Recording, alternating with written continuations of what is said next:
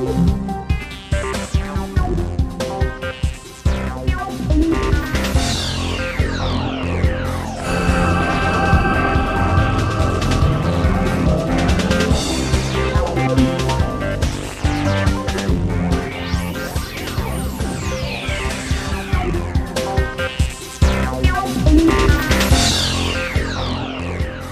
วัสดีครับ คุณผู้ชมทุกท่านครับยินดีต้อนรับเข้าสู่รายการวิจัยไทยคิด เดอะทีมครับ ผมทินโชคกมลกิจก็มาต้อนรับทุกท่านอย่างเช่นเคยนะครับ รายการนี้สร้างสรรค์โดยสำนักงานกองทุนสนับสนุนการวิจัย หรือว่าสกว และทีวีไทยแห่งนี้ครับ สัปดาห์ที่แล้วครับผู้เข้าแข่งขันของเราทั้ง 4 ทีมนะครับก็ได้เห็นถึงประโยชน์นะครับที่เราสามารถที่จะทำได้นะฮะจากเศษของปาล์ม สัปดาห์นี้ครับเรายังอยู่ในเรื่องของปาล์มครับ เราจะมาดูว่าคุณค่าของน้ำมันปาล์มนะครับ มันจะมีอะไรที่นอกเหนือจากการทอดอาหารครับ ก่อนอื่นครับ คณะกรรมการผู้ทรงคุณวุฒิของเราทั้งสองท่านครับ ท่านแรกครับ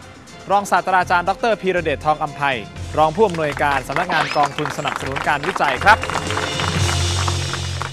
อีกท่านหนึ่งครับ ผู้ช่วยศาสตราจารย์ ดร พัชรินทร์ระวียันครับ จากคณะอุตสาหกรรมเกษตร มหาวิทยาลัยเชียงใหม่ครับ สวัสดีครับยินดีต้อนรับครับ ขอบคุณครับที่ให้เกียรติมารายการของเรานะครับ ผู้เข้าแข่งขันของเรา 4 ทีมพร้อมแล้วไปพบกับพวกเขาเลยครับ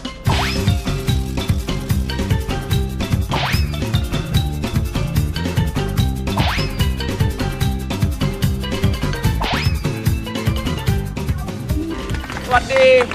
ผู้เข้าแข่งขันทั้ง 4 ทีมเลยนะครับ สวัสดีครับ สวัสดีครับ ยินดีต้อนรับกลับมาอีกครั้งหนึ่งนะฮะสู่วิจัยไทยคิดอาจารย์สง่านะครับ เป็นหัวหน้าทีมของ Bioman มี คะแนนอยู่กี่คะแนนนะอาจารย์จากสัปดาห์ที่แล้ว 27 ครับ ภูมิใจมากมากพอใจไหมฮะ ๆไม่พอใจ เพราะแพ้ทีมทีมเอ่อฟ้าทลายโจรฟ้าทลายโจรไป 3 คะแนนกินไม่ได้นอนไม่หลับ เลยไม่ไปเอาข้อมูลจากต่างประเทศแล้ว ไปที่สกว ในประเทศไทยนี่แหละ พอแล้วไปที่สกวนี่ข้อมูลพอแล้วเครียดนะครับอืม ทีมพิดาครับ ทีมสุวรรณภูมิครับ ค่ะ เตรียมตัวมายังไงวันนี้ ครับก็ไปศึกษาข้อมูลเพิ่มเติมนะครับ หลังจากที่อาทิตย์ที่แล้วก็เสียเทพไป โอ้โหน่ากี่คะแนนมีกี่คะแนนครับ17 คะแนนครับจำได้ด้วยโอ้โหสำคัญฝังนะใจครับฝังใจเลย สัปดาห์นี้ไม่ยอมยอมต้องไม่พได้ ยายามครับ ทัพทีมสยาม ครับติวกันแบบอาทิตย์หนึ่งเต็มๆเลยครับ ดรลูกแก้วเป็นไงครับ ก็สัปดาห์ที่แล้วเราเห็นข้อผิดพลาดของเราไหม ครับเห็นครับมีทั้งหมด 16 คะแนน16 คะแนนครับ อันดับที่ ที่แหมสงครามไม่จบอย่าเพิ่งนับศพทหารค่ะ อืมครับ มาทีมสุดท้ายครับฟ้าทรายโจน30 คะแนน ครับคะแนนเต็มแล้วนะ30คะแนน ครับกดดันไหมที่วันนี้มาเราจะต้องรักษา เอ่อก็พยายามจะไม่ให้กดดันตัวเองด้วยการเราก็ไปเรียนรู้จากธรรมชาติจริงๆ ก็คุณคุณคุณตันก็ไปเลี้ยงนกเขาแมวมา ส่วนคุณสันนี่ก็ไปเปิดโรงงานอัดกระดาษอ๋อเหรอครับ อ่าเผื่อว่าจะเอาต้นปาล์มเนี่ยมาทำผลิตลงภัทุณนฑ์ขนาดนั้นเลยแล้วคุณโอเล่นะครับ ผมก็เชียร์เขาอะครับ ไม่ทำอะไรไม่ทำอะไรเลย ม่ทำสบายใจ เชียร์เขาย่างให้ดียวเพื่อนๆไปทำกันบ้าน ใช่ครับ ซึ่งทั้ง 4 ทีมนี้นะครับ ก็จะต้องมา แข่งกันอีกครั้งหนึ่งนะครับในหัวข้อปาล์มเหมือนกันนะครับ แต่วันนี้เราจะไม่พูดถึงเรื่องของต้นปาล์มหรือว่าทางใบหรืออะไรทั้งสิ้นนะครับ เราจะพูดกันถึงน้ำมันปาล์มครับ ปัจจุบันอุตสาหกรรมปาล์มน้ำมันไม่ได้เป็นเพียงการสกัดน้ำมันปาล์มมาเพื่อบริโภค หรือเพื่อผลิตเป็นเชื้อเพลิงทดแทนน้ำมันดีเซลเท่านั้น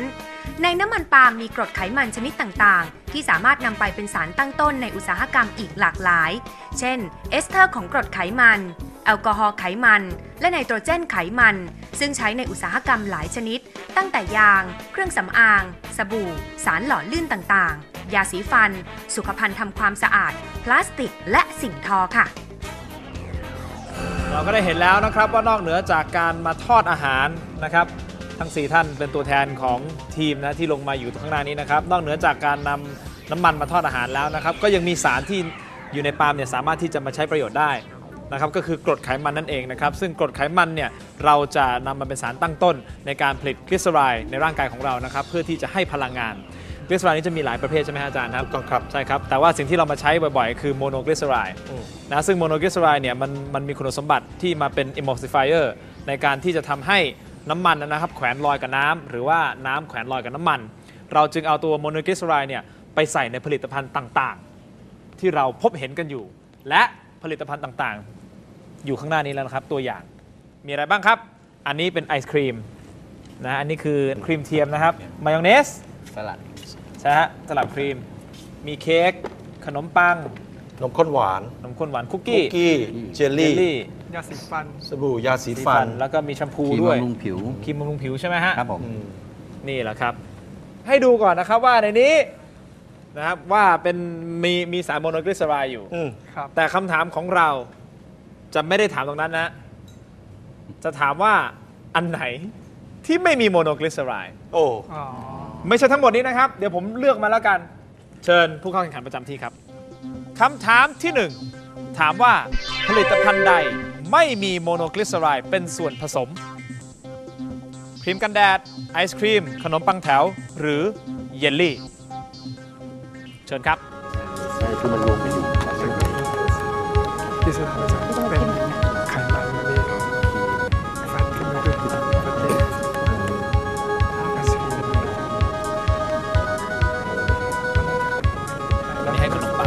กินเลยครับให้กันแดดผมติดให้ดูเวลาทาให้ดูแบบให้มันดูโดนน้ำมันมันแต่แรกผมที่เนื่องจากโมโน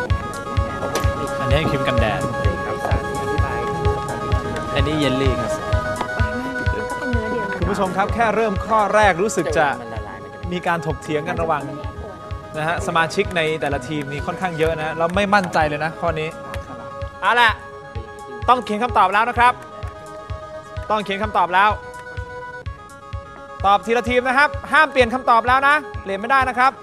เริ่มจากทีมไบโอแมนคำตอบของท่านคือ หมายเลข 4 เยลลี่ เชิญวิเคราะห์ครับ โมโนกลีเซอไรด์เนี่ยมันมาจากกรดไขมัน ซึ่งกรดไขมันในน้ำมันปาล์มนี้เป็นกรดไขมันอิ่มตัว เพราะฉะนั้นเราวิเคราะห์ว่า ไอตัวที่มันไม่น่าจะมีกรดไขมันอยู่เลยคือเจลลี่ ส่วนครีมกันแดดแน่นอนมีไม่งั้นมันไม่ทำให้ผิวหนังชุ่มชื้น ไอศครีมพันเปอร์เซนต์ว่าต้องมีกรดไขมันผสมอยู่ และขนมปังดมเอาก็รู้ว่ามันมีกลิ่นเนย แน่นอนเป็นส่วนผสมของโมโนกลีเซอไรด์แน่นอน สุวรรณภูมิคำตอบของคุณครับ หมายเลข4เยลลี่เหมือนกันเชิญครับ คือคิดว่าอย่างในส่วนของครีมกันแดดไอศครีมแล้วอ่าขนมปังเนี่ยคงจะมีส่วนผสมของของไขมันอยู่นะครับ เพราะฉะนั้นก็อาจจะมีการนำโมโนกลีเซอไรด์ไปใช้ในกระบวนการผลิตแต่เดียวกันที่วุ้นเนี่ยเท่าที่ผมทราบมาส่วนผสมหลักๆ คงจะเป็นเรื่องของของเจลาตินนะครับซึ่งเจลาตินอาจจะไม่ใช่สารประเภทกรดไขมันนะครับเพราะฉะนั้นก็จับจับหลักจากจากตรงนี้เอานะครับทีมทัพทีมสยามครับ ตอบว่าสี่ครับ โอ้โห เลข 4 คือเยลลี่ ครับผม เวลาผมได้ยินคำว่า emulsifier เนี่ยผมจะนึกถึงไข่แดงในน้ำสลัด ซึ่งมันช่วยรวมน้ำมันกับน้ำเข้าด้วยกัน จากนั้นผมเอาความคิดง่ายๆเนี่ยไปดูกับไอ้สตัวนี้ ซึ่งผมก็เข้าใจว่าถ้าไม่ผิดนะครับว่าเยลลี่เนี่ยมันไม่น่าจะมีไขมัน มาทีมฟ้าทลายโจรคำตอบของคุณคือข้อ 3 ครับ ขนมปังขนมปังขนมปัง เชิญครับ จริงๆแล้วขนมปังที่เข้าใจว่าขนมปังเนี่ยไม่ได้ใส่เนย มันน่าจะมีแค่พวกแป้งหรือคาร์โบไฮเดรตนะครับ แล้วก็ทำให้มันฟูโดยตัวจุลินทรีย์ที่เป็นยีสต์อะไรอย่างเงี้ยครับ ก็เลยคิดว่าน่าจะเป็นขนมปังเนี่ยแหละ ที่ไม่มีสารพวกกีโซไลอยู่ มีทีมเดียวเท่านั้นที่ไม่ได้ตอบเยลลี่ คือทีมฟ้าทลายโจรและเป็นทีมที่มีคะแนนสูงที่สุดณตอนนี้คือ 30 คะแนน ส่วนอีก 3 ทีมตอบว่าเยลลี่ ถ้าผิดก็คือผิดทั้ง 3 ทีมคำตอบที่ถูกต้องสำหรับข้อนี้ที่เราถามว่า ผลิตภัณฑ์ใดไม่มีโมโนกลีเซอไรด์เป็นส่วนผสมนะครับ ระหว่างครีมกันแดด ไอศครีม ขนมปังแถวและเยลลี่คำตอบที่ถูกต้องในข้อนี้นะครับ เยลลี่ครับ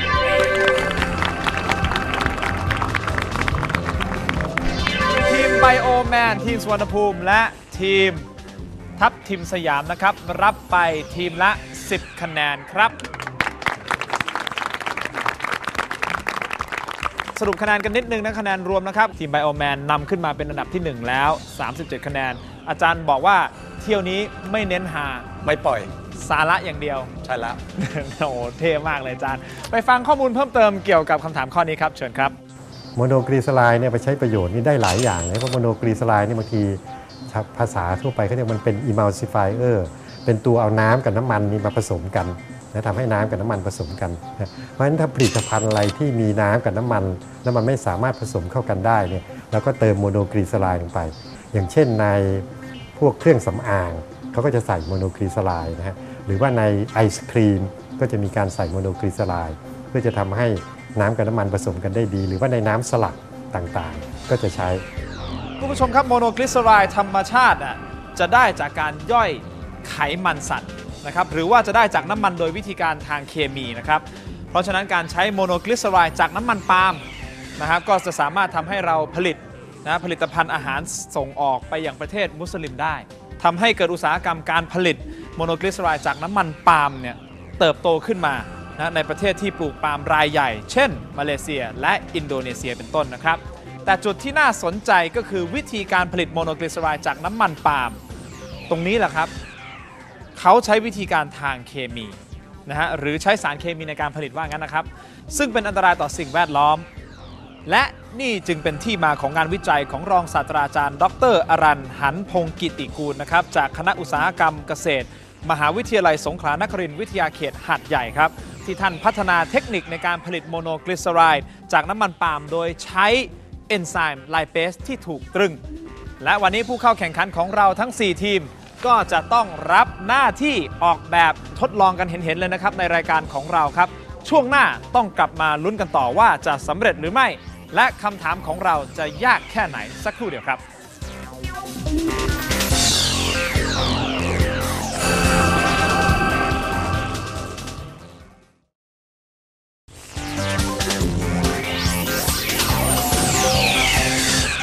กลับมาที่รายการวิจัยไทยคิด The Team ครับคุณผู้ชมครับ ช่วงที่แล้วค้างไว้นะครับว่าเราจะให้ผู้เข้าแข่งขันทั้ง 4 ทีม ออกแบบกระบวนการผลิตโมโนกลีเซอไรด์จากปาล์มนะครับเห็นอยู่บนโต๊ะแล้วเพื่อไม่ให้สับสนนะครับ ผมจะอธิบายคร่าวๆ ว่ามันคืออะไรแล้วมีขั้นตอนยังไงบ้าง คำถามข้อนี้เกี่ยวกับกระบวนการผลิตโมโนกลีเซอไรด์จากน้ำมันปาล์มครับ โดยผู้เข้าแข่งขันทั้ง 4 ทีม ต้องเรียงลำดับขั้นตอนให้ถูกต้อง จากลำดับขั้นตอนทั้ง 4 ขั้นตอนที่ทางรายการได้เตรียมไว้ให้ ซึ่งก็มี 1. ผสมด้วยกลีเซอรอล 2. การลดอุณหภูมิ 3. การอบในตู้อบ 4. การทำปฏิกิริยากับเอนไซม์ไลเปสที่ตรึง และเมื่อแต่ละทีมจะตอบ ก็เพียงแค่นำลำดับขั้นตอนที่คิดว่าใช่ ไปใส่ในช่องว่างที่ผังกระบวนการ ส่วนการคิดคะแนน ถ้าตอบถูกได้ข้อละ 2 คะแนน ถ้าตอบถูกครบทุกข้อ รับไปเลยครับ 10 คะแนนเต็ม ไม่งงนะไม่สับสนนะครับ คุณมีเวลา 5 นาทีนะครับ ในการที่จะลองดูว่ากระบวนการนั้นข้อไหนมาก่อนข้อไหนมาหลัง และตรงตามลำดับจนได้ผลึกโมโนกลีเซอไรด์5นาทีของคุณเริ่มนับบัตรนี้ครับ ทีมสีแดงทัพทีมสยามนะครับ โดยดรลูกแก้วนะครับ เหมือนจะเรียงลำดับขั้นตอนคำตอบได้ในทันทีนะครับ ดูแล้วค่อนข้างมั่นใจเลยทีเดียว ฟ้าทลายโจรครับ วิเคราะห์ก็แล้ว ดมพิสูจน์กลิ่นก็แล้ว ยังไม่แน่ใจนะครับว่าลำดับขั้นตอนที่ถูกต้องต้องเรียงลำดับอย่างไรนะครับ ยังไงก็ต้องทดลองเรียงกันดูก่อนแหละครับเอาละครับเร่งมือกันนิดนึงครับเร่งมือกันนิดนึงทีมสีเขียวไบโอแมนนะครับ ดูท่าทางอาจารย์สง่ายังคงสับสนอยู่ ระหว่างการผสมด้วยกลีเซอรอล กับการทำปฏิกิริยากับเอนไซม์ไลเปสที่ตรึง ขั้นตอนไหนจะถูกต้องเพื่อผลิตโมโนกลีเซอไรด์จากน้ำมันปาล์มให้ได้นะครับสามทีมสำหรับทีมสีเหลืองสุวรรณภูมิ ดูท่าทางมั่นใจที่สุดนะครับ แล้วก็เรียงลำดับขั้นตอนเสร็จไปนานแล้วนะครับ ตอนนี้กำลังตระเตรียมการวิเคราะห์ให้ถูกใจกรรมการมากที่สุดแล้วแหละครับ เอาละครับเราไปดูกันเลยดีกว่าว่า ทีมไหนจะวิเคราะห์ได้ถูกต้อง โดนใจกรรมการมากที่สุดครับ เราจะเริ่มจากคำตอบของฟ้าทะลายโจร ขอดูคำตอบครับ2ขั้นตอนของคุณนะครับคือ 4 มา 2 มา 1 และ 3 กับการวิเคราะห์ พร้อมครับ ครับผม เริ่มครับ step แรกของของของการทำกลีเซอไรด์นะครับ น่าจะทำปฏิกิริยากับตัวเอนไซม์ไลเปสก่อนนะครับ เพราะว่าตัวเอนไซม์ไลเปสเนี่ยเป็นการย่อยตัว lipid คือตัวไขมันของน้ำมันปาล์มให้มันสั้นลง ทีนี้ step ที่ 2 ต่อมาน่าจะเป็นเรื่องของการลดอุณหภูมิ step นี้อาจจะเกิดพร้อมกันก็ได้ เพราะว่าการลดน้ำหนักของโมเลกุลลงให้เป็นให้มันย่อยลงเนี่ยคือคือคิดว่าอาจจะเกิดการคายความร้อนขึ้นนะครับ แล้วก็ step จากนั้นเห็นว่าได้เป็นของเหลว X อีกตัวของเหลว X เนี่ยมันน่าจะเป็นน้ำมันที่มาทำปฏิกิริยากับตัวสารเคมี คือ step ต่อมาคือตัวกลีเซอรอลนะครับ ซึ่งกลีเซอรอลก็คือเป็นสารประกอบพวกแอลกอฮอล์แล้วก็เอ่อคือพอทราบมานิดนึงก็คือแอลกอฮอล์ทำกับพวกไขมันซึ่งเป็นเอสเทอร์เนี่ยมันก็จะได้เป็นเกลือ ก็ได้เป็นสารประกอบพวกกลีเซอไรด์นะครับซึ่งของแข็ง Z ตรงเนี้ยก็ยังไม่ยังไม่เสร็จทีเดียวควรจะก็น่าจะต้องมาทำตัวการในการอบในตู้อบจนได้ผลึกของกลีเซอไรด์อะไรอย่างเงี้ยครับก็เลยเรียงมาตามขั้นตอนแบบเนี้ยครับ 4213 ครับ ขอบคุณครับฟ้าทลายโจร ทัพทิมสยาม พร้อมนะครับ ขอดูคำตอบครับ 1 3 4 2 เริ่มครับ คือผมเข้าใจว่าตอนแรกเนี่ยน้ำมันปาล์มเนี่ยมันจะต้องทำอะไรกับมันสักอย่าง เพื่อให้มันเกิดการเปลี่ยนแปลงไปอย่างที่เราต้องการ ก็คือผสมด้วยกลีเซอรอลขั้นตอนต่อมาอุณหภูมิที่เพิ่มขึ้นจะเป็นคาต y ลิสต์ในการทำให้น้ำมันปาล์มเนี่ยทำปฏิกิริยาอะไรบางอย่างกับกลีเซอรอลเนี่ยออกมาเป็นของเหลว X นะครับแล้วไอ้ของเหลว X เนี่ยจากที่มันได้อยู่ในสภาพการผสมระหว่างกลีเซอรอลกับของเหลวที่มันในอุณหภูมิสูงขนาดนั้นนะครับ ผมคิดว่าตรงเนี้ยจะเป็นสิ่งที่อาจารย์บอกว่าเป็นปฏิกิริยากับเอนไซม์ไอไลเปสที่ถูกตรึงอะไรเนี่ยนะครับ แล้วผลของมันก็ออกมาว่าจะเป็นของเหลว Y นะครับ จากนั้นในการที่จะทำให้สารละลายตกผลึกนะครับ คิดว่าจะเป็นการลดอุณหภูมิครับ สุดท้ายก็ออกมาเป็นผลึกโมโนกลีเซอไรด์ครับผม สุวรรณภูมิครับ 1 4 2 3 พร้อมวิเคราะห์นะครับครับเชิญครับ ครับก็คือหลักคิดในการวิเคราะห์ของเรานะครับ ก็คือเรามองย้อนกลับกระบวนการ คือว่าเรามองดูก่อนว่าในกระบวนการเนี่ยเกิดผลลัพธ์หรือเอาพุตอะไรออกมา แล้วจะใช้ กระบวนการวิธีการใดที่ได้ผลลัพธ์หรือเอาพุตนั้นนะครับก็เริ่มจากผนึกโมโนกีซไลด์ตรงนี้เนี่ยผมมองว่าก็คือหมายถึงเป็นโมโนกีซไลด์ที่มีความเข้มข้น ไม่มีน้ำผสมอยู่เพราะฉะนั้นการที่จะไล่น้ำออกได้ก็คือการใช้การอบนะครับแล้วก็ไล่ขึ้นไปเป็นของแข็งการที่จะทำให้ของแข็งมานึกถึงตอนที่เอาน้ำมันพืชไปแช่ตู้เย็นนะฮะจากการจับถาดทดลองเนี่ยจะพบว่าตอนแรกที่เอามาเนี่ยในถาดทดลองจะเป็นของแข็ง แล้วก็จับดูรู้สึกมันจะเย็นเจี๊ยบ ไล่ขึ้นไปอีกก็จะเป็นของเหลว X นะครับจากน้ำมันปาล์มธรรมดาเนี่ยคงน่าจะมีการเติม ในส่วนของกีเซอรอนเข้ามาเพื่อให้เหมาะสมสำหรับการทำปฏิกิริยากับเอนไซม์ไลเปสครับผม ขอบคุณครับ ทีมสุดท้ายครับ ทีมไบโอแมนอาจารย์สง่าครับฟาร์มคำตอบ 1 4 2 3 คือเรารู้จักผลผลิตสุดท้ายเนี่ยต้องเป็นโมโนกลีเซอไรด์ถ้าโมโนก็คือมันมีโมเลกุลขนาดเล็ก เพราะฉะนั้นเราควรจะย่อยมันก่อนให้มีขนาดให้โมเลกุลมันมันสั้นลงหรือมัน มันเล็กลง เพราะฉะนั้นเราก็ผสมด้วยกลีเซอรอลผสมกลีเซอรอลเสร็จปุ๊บ แล้วก็ทำปฏิกิริยากับเอนไซม์ไลเปสพอทำปฏิกิริยาไลเปสปุ๊บก็จะได้สารตั้งต้น B ขึ้นมา เป็นเอกเป็นสาร B ขึ้นมาตัวหนึ่งต่อไปปุ๊บเราดูว่าสารตั้งต้นสุดท้ายเนี่ยเป็นของแข็ง เพราะฉะนั้นจากของเหลวเนี่ยเรารู้ว่ามันมีไขมันอยู่ในอยู่ในนี้ เราจะทำยังไงให้ให้มันกลายเป็นของแข็ง แล้วก็เอาไปแช่แข็งซะพอแช่แข็งเสร็จปุ๊บ มันก็แยกเป็นสองเฟสเฟสของแข็งกับเฟสที่ยังมีอาจจะมีของเหลวมีมีอะไรอยู่บ้างหลังจากนั้นเลยไม่มีของเหลวอยู่เนี่ยเราก็ควรจะเอาไปอบเพื่อไล่พวกของเหลวออกไปแล้วจะก็สุดท้ายแล้วจะได้ผลิตผลิตภัณฑ์ออกมาเป็นโมโนกลีเซอไรด์ที่มีลักษณะเป็นของแข็งครับโอเคครับ วิเคราะห์กันไปเรียบร้อยทั้ง 4 ทีมเลยนะครับ เอาละมี 2 ทีมตอบเหมือนกัน อีก 2 ทีมตอบแตกต่างกันเลย เอาละครับ เราไปดูคำตอบกันครับ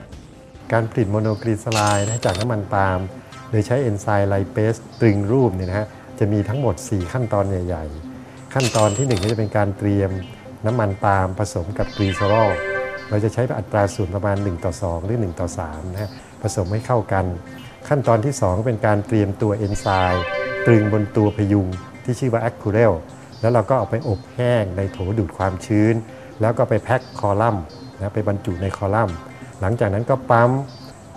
ของผสมก็คือตัว